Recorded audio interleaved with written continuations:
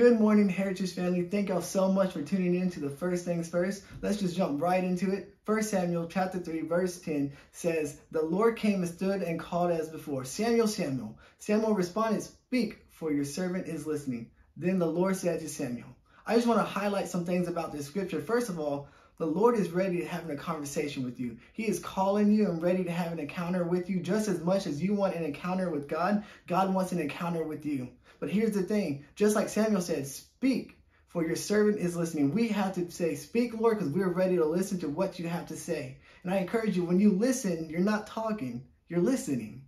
So make room for the Lord. Make room to listen to what the Lord says. Because the next thing says, the Lord said to Samuel, Listen, God's ready to give you answers that you need. God's ready to give you wisdom beyond your years. He's ready to speak what you need to hear. And I encourage you as you go out through today, make sure that you encounter God, you leave room for him to speak, and you're ready to listen. Y'all guys have a great day. We'll see you next time.